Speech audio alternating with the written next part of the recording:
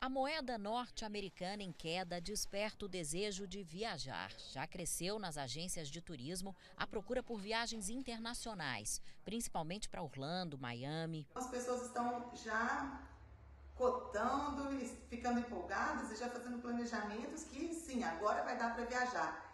Eu espero que sim, que o câmbio continue caindo, favorecendo o viajante e o agente de viagens, que também tanto sofreu nesse período de pandemia. Nesta sexta-feira, o dólar turismo era vendido nas casas de câmbio em Goiânia por R$ 4,98, a primeira vez abaixo de R$ 5,00 em muito tempo. Esse preço realmente está tá muito bom, é uma oportunidade, tem que aproveitar mesmo. E eu indico também fazer umas compras é, aos poucos, mesmo ainda não tem passagem comprada, aproveitar essa queda e fazer o custo médio. Nos primeiros três meses deste ano, o dólar acumula baixa de 14,6%, a maior para um trimestre desde 2009. Nesse momento está entrando muito dólar no país, motivado pela alta das commodities, que são produtos aí que o Brasil exporta muito, soja, é, minérios, é, questões relacionadas à agricultura a crise ali no, no leste europeu, especialmente ali entre Ucrânia e Rússia, faz com que investimentos que eram para aquela região venham para o Brasil, então mais dólar no Brasil o aumento da taxa de juros, a Selic subiu para 11,75, que traz também mais dólares para o Brasil.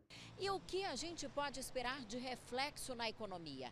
A pergunta principal: se o preço do barril do petróleo está atrelado ao dólar, agora com o dólar em queda, então a gasolina vai baixar? A gente é cobrado nas redes sociais, né, pelo, pela redução do preço da gasolina já. Mas isso não depende do posto única e exclusivamente. É preciso que a Petrobras tome a atitude de reduzir seu preço para que as distribuidoras baixem para os postos, para que os postos possam repassar para o consumidor. A baixa do dólar teria que se sustentar por um tempo, pelo menos até junho, para sentirmos também os efeitos na inflação e os preços baixarem nas prateleiras. E ainda tem a influência das eleições, que também mexem com o mercado. Há cenários aí que prevêem o dólar a incríveis 4,30, 4,40 na época das eleições. Então, se acontecer, será uma boa. Ao passo que, a depender das pesquisas, do, do nível dos debates, esse dólar pode ir para 5,50, 6 reais também, porque isso pode tirar dólares do nosso país. Se é momento para investir, comprar dólar, com a resposta, o especialista. A bolsa eu sempre recomendo. A bolsa brasileira está muito barata. Por estar muito barata, é por isso que está entrando tanto dólar aqui.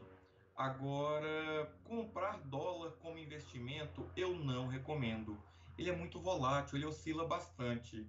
Agora, se você precisa comprar dólar para viajar, é um momento interessante.